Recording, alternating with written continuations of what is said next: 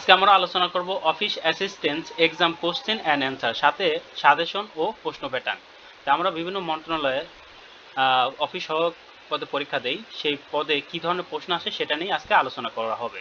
তো এই ক্ষেত্রে তোমরা একটা কাজ করতে পারো, তোমাদের হাতে যদি খাতা এবং কলম থাকে, তাহলে হাতে খাতা এবং কলম তুলে নাও। তো চলো শুরু করি। সঠিক বানান চিহ্নিত করুন। সঠিক বানানটা হলো অতিথি। তাহলে আমাদের বলতে পারতেছি ক নাম্বার উত্তর। তাহলে আমাদের অফিস সহায়ক পরীক্ষায় বানান থেকে প্রশ্ন করা হয়। তাহলে আমরা কি করব? বানান থেকে প্রশ্ন পড়ে যাব। বাড়ি থেকে বানান পড়ে যাব। সন্ধি বিচ্ছেদ করুন। নবান্ন। নবযোগ অন্ন। নবান্ন, খ নাম্বার উত্তর। তাহলে আমাদের দ্বিতীয় কাজটা কি হবে? সন্ধি বিচ্ছেদ করতে হবে। এটা বোর্ড ব্যাকরণ বইতে দেওয়া আছে অথবা অফিস সহায়ক এই বইতেও দেওয়া আছে। নিজম শব্দের অর্থ কি? নিজম শব্দের অর্থ নীরব। এই ধরনের প্রশ্নগুলো সাধারণত কমন পাওয়া যায় না। এটা নিয়ে মাথা ব্যথার কোনো কারণ নেই। এই প্রশ্নটা করা হয় ক্লাস সিক্স থেকে সেভেনের যে বাংলা বই আছে, সেই বাংলা বইয়ের বিভিন্ন বা শব্দ থেকে, বিভিন্ন শব্দের অর্থ থেকে। যাই হোক, এটা প্রশ্ন সাধারণত কমন পাওয়া যায় না। আবার আসি, ব্যাঙের আধুলি। এটা একটা বাগধারা থেকে প্রশ্ন করা করেছে ব্যাঙের আধুলি অর্থ? সামান্য অর্থ। তাহলে ব্যাঙের আদলেই এটা একটা বাগধারা। তাহলে বাগধারা থেকে আমাদের প্রশ্ন করা হয়। অবশ্যই বাগধারা পড়ে যেতে হবে। তাহলে আমাদের তিনটা টপিক সেখানে পাইলাম। বানান, সন্ধি, বাগধারা। এই তিনটা টপিকস পড়তে হবে। ফকির শব্দের কোন ভাষা থেকে এসেছে? ফকির শব্দটি আরবি ভাষা থেকে এসেছে। তাহলে শব্দের উৎস এখান থেকে প্রশ্ন করা হয়। শব্দের উৎস কোথায় পাবো? আমরা অফিস জব রিভিউ এই বইটিতে পাইতে পারি, অথবা বোর্ড ব্যাকরণ পড়লে আরও ভালো হবে। আর যাই হোক, একটা কথা বলে রাখি। অফিস সহায়ক জব রিভিউ এই বইটি তোমরা সংগ্রহ করে নিতে পারো। এই বইটির পিডিএফ মূল্য মাত্র চল্লিশ টাকা। আর বইটি সংগ্রহ করতে এই নাম্বারে হোয়াটসঅ্যাপের মাধ্যমে যোগাযোগ করে হোয়াটসঅ্যাপ করে বইটি সংগ্রহ করে নিও। এবার আসি পূর্বে শব্দটি চলিত রূপ কোনটি? আগে। পূর্বে শব্দ আগে। তাহলে এটা বইটি, এটা বোর্ড ব্যাকরণ থেকে হুবহু প্রশ্নটা করা হয়েছে নবম, দশম শ্রেণির। নিচে কোন শব্দটি তৎসম, নক্ষত্র? এই শব্দটি এটাও কিন্তু শব্দের উচ্চ শব্দের উচ্চ কয় ভাগে ভাগ করা যায়? পাঁচ ভাগে। তৎসম, তদ্ভব অর্ধ তৎসম দেশি, বিদেশি। এটা বোর্ড ব্যাকরণ বইতে দেওয়া আছে, হুবহু প্রশ্ন এটা। তাহলে আমাদের শব্দের উচ্চ পড়ে পড়ে আসতে হবে। মহাত্মা কোন সমাস? মহাত্মা একটি বহুবীয় সমাস। তাহলে সমাজ থেকে প্রশ্ন করা হয়। তাহলে আমরা কয়টি টপিক পাইলাম? প্রথমে এলো হলো গা, বানান, দ্বিতীয় সন্ধি, তৃতীয় বাগধারা, চতুর্থ শব্দের উচ্চ পঞ্চম এলো হলো গা সমাস। তাহলে এই কয়টা টপিকস আমাদের বাংলার ক্ষেত্রে অবশ্যই অবশ্যই গুরুত্ব দিয়ে পড়তে হবে। তারপর আসি ব্যায়ামের শরীর ভালো হয়।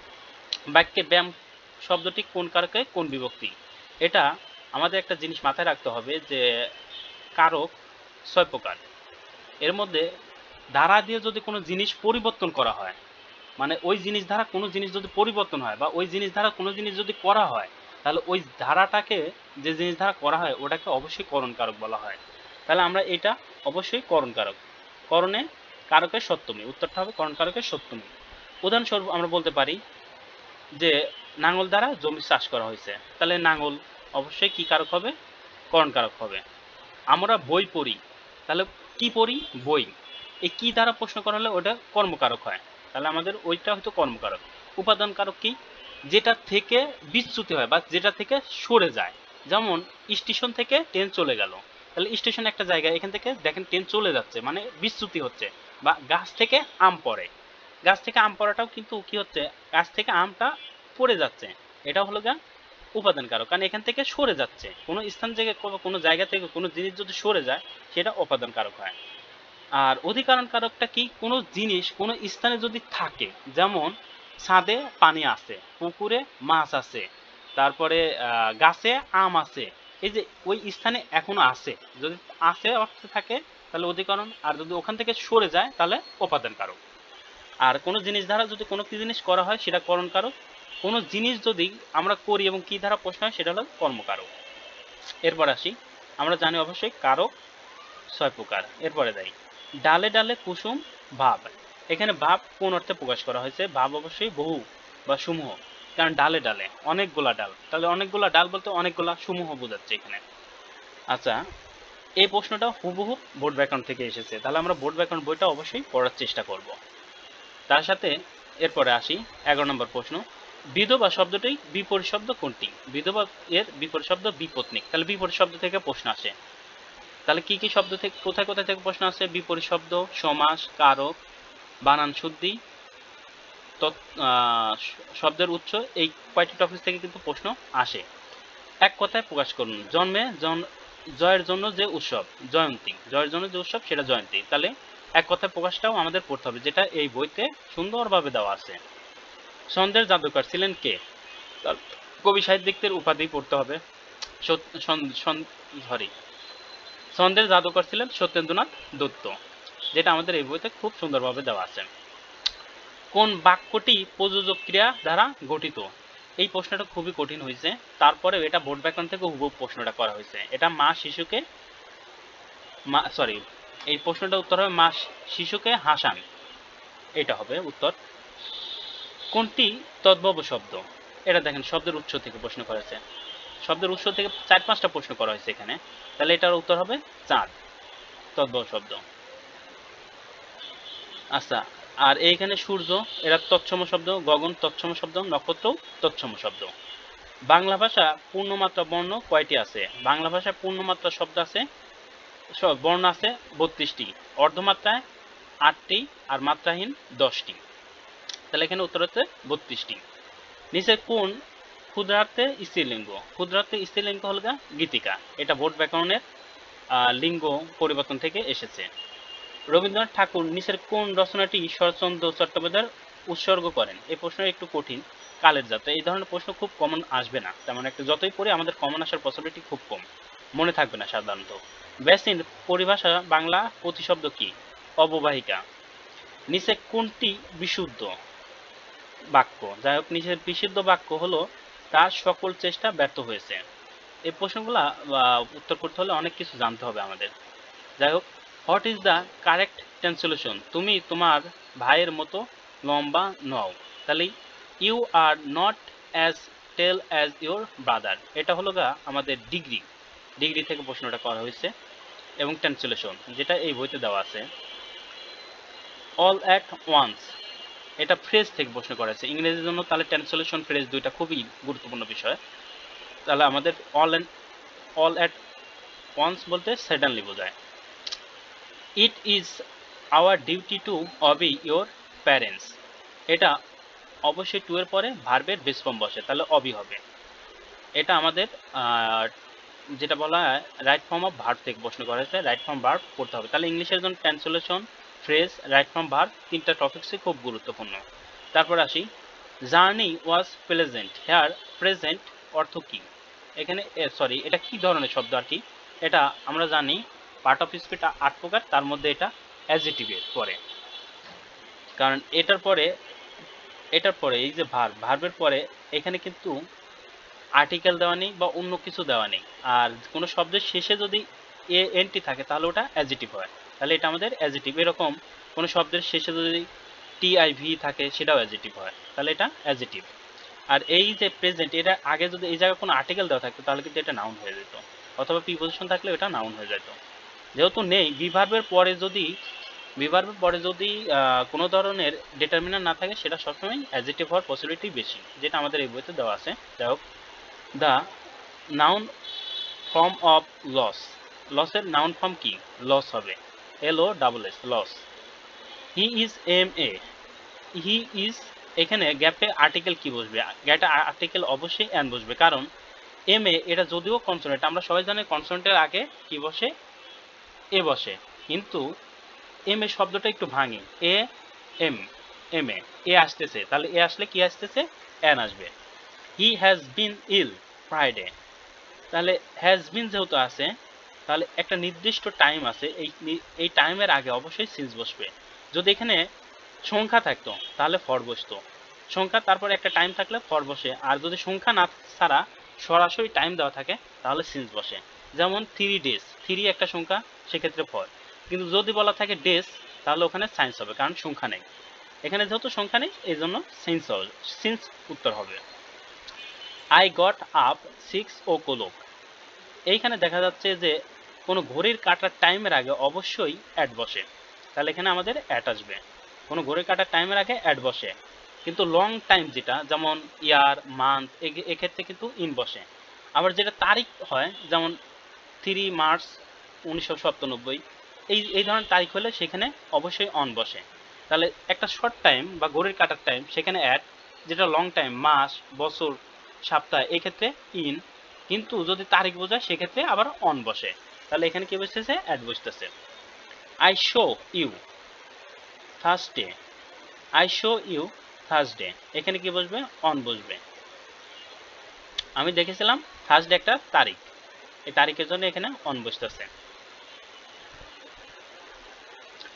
কোনটি শুদ্ধ বানান? এখানে প্রেজেন্ট এটা শুদ্ধ বানান। ডু আর ডাই এখানে কোন ধরনের সেন্টেন্স আমরা মনে রাখব অর অ্যান্ড বাট এই তিনটা জিনিস থাকলে সবসময় কম্পাউন্ড সেন্টেন্স হয়। অর অ্যান্ড বাট এই তিনটা জিনিস থাকলে কম্পাউন্ড সেন্টেন্স যেহেতু অর আছে, এটা compound sentence look after look after মানে সাদৃশ্য। লুক আফটার সরি দেখাশোনা করা। টেক কেয়ার লুক আফটার মানে দেখাশোনা করা। টেক কেয়ার মানেও দেখাশোনা করা।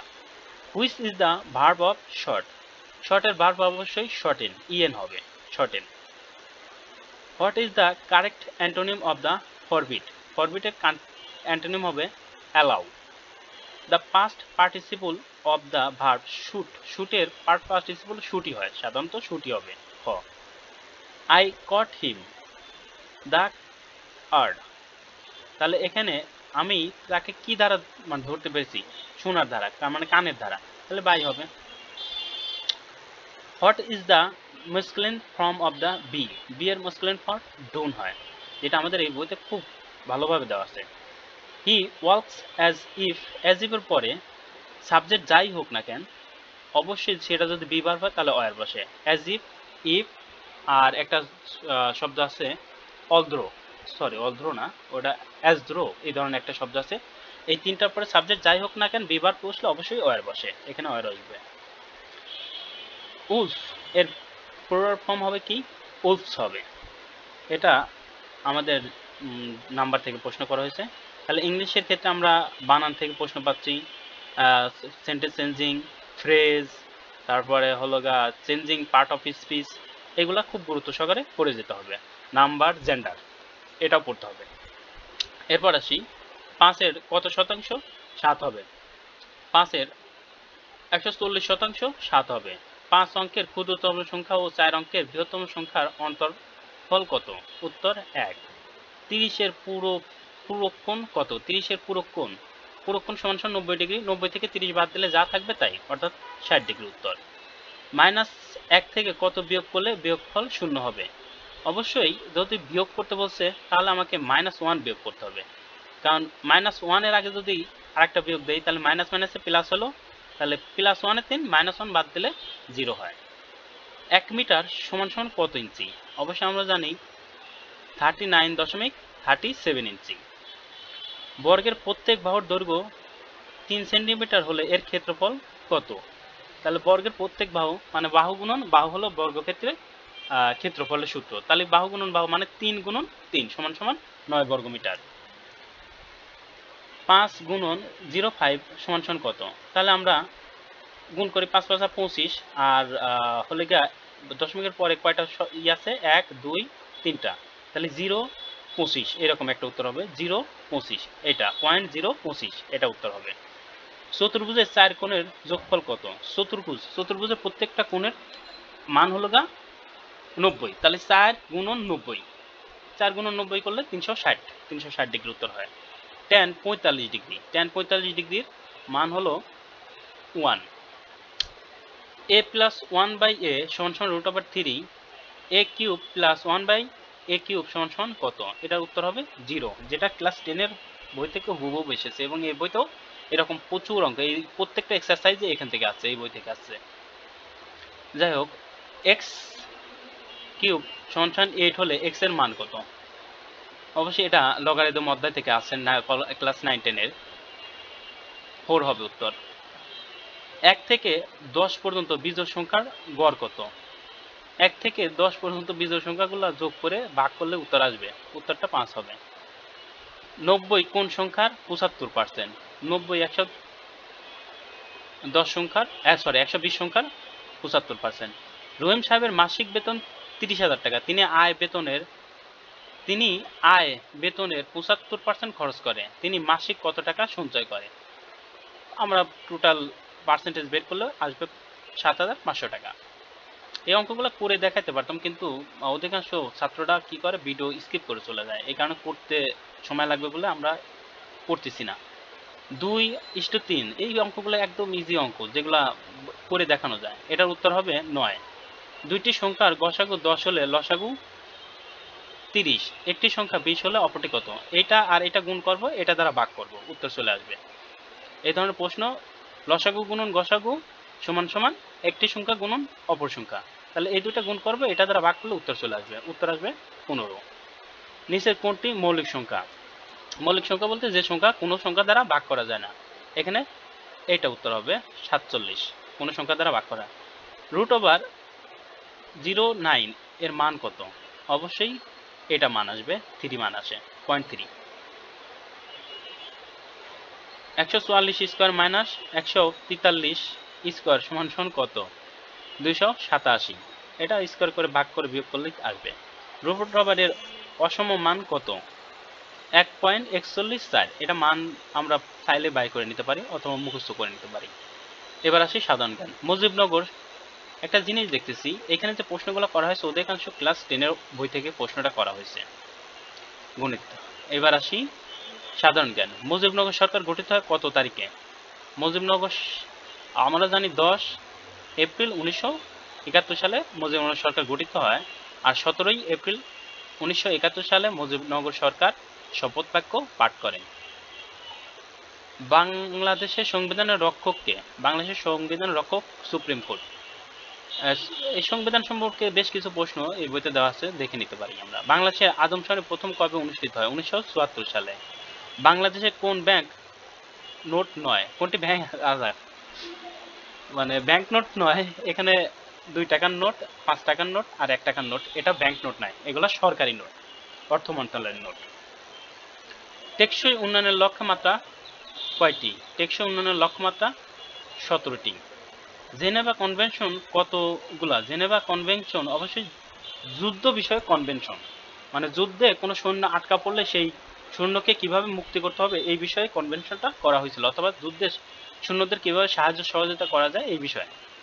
নারী বিষয়ক পত্রিকা বেগমের সম্পাদককে। আসলে এখানে উত্তর সুফিয়া বেগম দেওয়া আছে, কিন্তু আসল উত্তর হবে নূরজাহান বেগম। সুফিয়া বেগম না নূরজাহান বেগম? কারণ সুফিয়া বেগমের মেয়েই নূরজাহান বেগম।